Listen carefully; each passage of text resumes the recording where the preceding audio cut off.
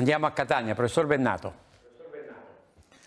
Sì, un'offerta bella consistente questa settimana. E, diciamo che io sono riuscito a collocarmi in, in, con diverse pellicole perché stuzzicano diversi a, aspetti della mia curiosità da, da cinefilo. Sicuramente in prima battuta When Evil Lurks perché sono un appassionato di horror e poi l'estate è il momento migliore per cercare qualche brivido non dovuto all'aria condizionata, quindi sicuramente questa è la mia prima scelta anche perché la dimensione del, diciamo così, della, la dimensione dello, dello, della, del demoniaco in, una, in, una, in, un contesto secolarizzato secondo me una bella tensione anche dal punto di vista psicologico. Poi di, in seconda battuta Twisters perché secondo me è un film da vedere al cinema perché per vedere quelle, quelle catastrofi e quegli enormi eh, strumenti di distruzione quando sono in realtà che sono i, i, i tornado, è sicuramente il cinema il luogo migliore per, per, per, per vederlo. Dopodiché c'è mm, l'ultima vendetta, perché, un po' perché appunto mi piace eh, Liam Neeson quando, in questo periodo che ha fatto la svolta cupa e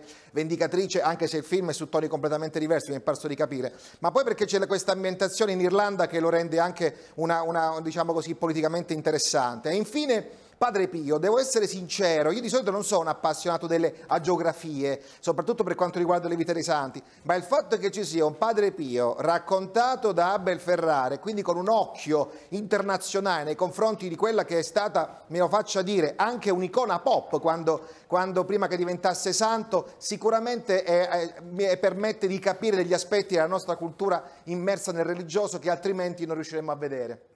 Sentiamo il professor Bovalino, sempre sull'offerta di questa settimana. Guerino Nuccio, Bovalino. Professor Bennato, tocca a lei, la classifica.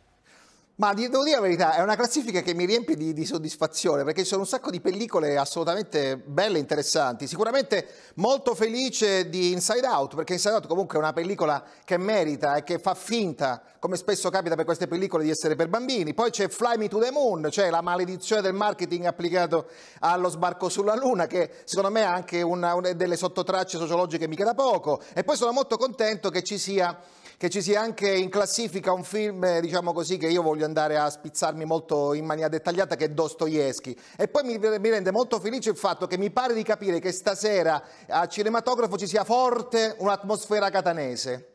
Eh. O mi sbaglio? Eh sì. Eh, perché Tavarelli? Perché ha detto questo il professore? Perché l'attrice Barbara Giordano è catanese. Pure io sono catanese. Grazie. Eh, allora, il futuro è catanese. Barbara è stata chiamata in causa. Lei, nata a Catania, Giordano, Barbara.